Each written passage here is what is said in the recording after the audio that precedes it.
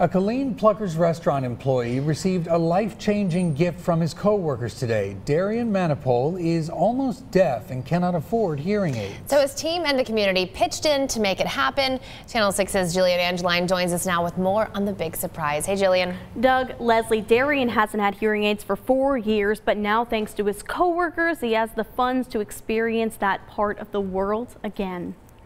Imagine a world without sound, where you couldn't hear clinking glasses, or ice shaking in a cocktail shaker, or your loved ones laughing. That's the daily reality for busboy Darian Manipole, who lost his health insurance four years ago and decided to go deaf and use American Sign Language to communicate.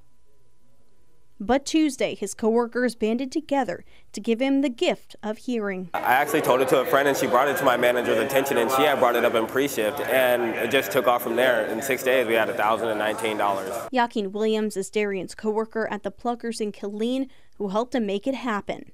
Better for him to be connected because he's so disconnected now and he can't hear anything. He's just kind of oblivious to his surroundings.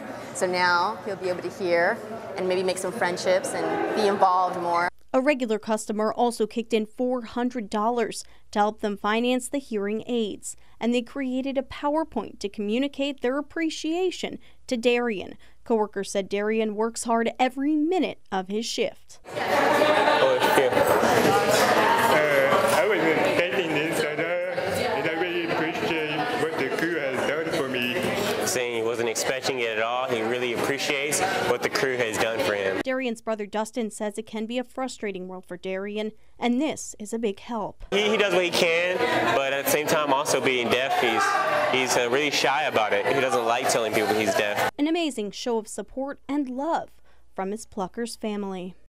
Now with hearing aids, Darian can train in other parts of the restaurant at Pluckers like being a host, a waiter, and even work in the kitchen.